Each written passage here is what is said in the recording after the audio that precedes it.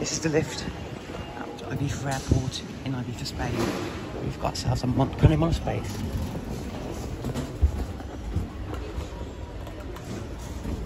Take a ride.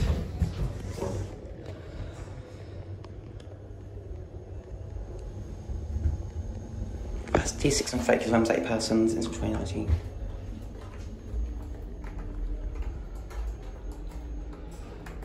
Just doing my favourite picture as well.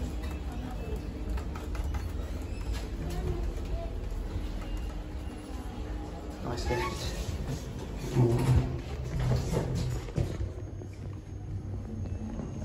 There we go. Nice lift.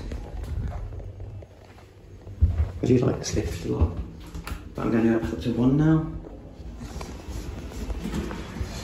Up to one.